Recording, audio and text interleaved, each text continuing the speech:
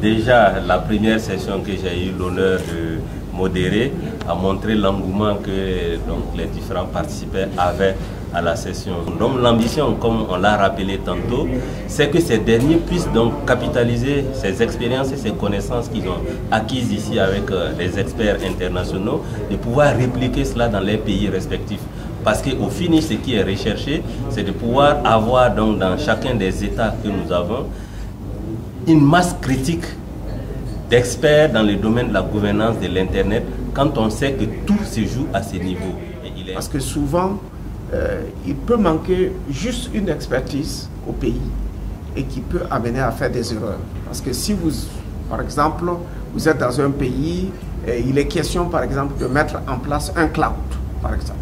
Vous pouvez rapidement, à travers le réseau, savoir quels sont les gens qui ont des expériences dedans et qui peuvent vous indiquer les ressources qui font le plus autorité. Quelles sont les expériences les plus pertinentes dans le monde, les expériences les plus pertinentes en Afrique? Et à partir de ce moment, vous pouvez établir des comparaisons, étudier et arriver à trouver la solution qui correspond à votre pays. Donc c'est cette démarche-là euh, que nous tenons à inculquer aux stagiaires de manière à ce que euh, leur communauté puisse compter sur eux parce qu'ils ne vont pas réinventer la poudre.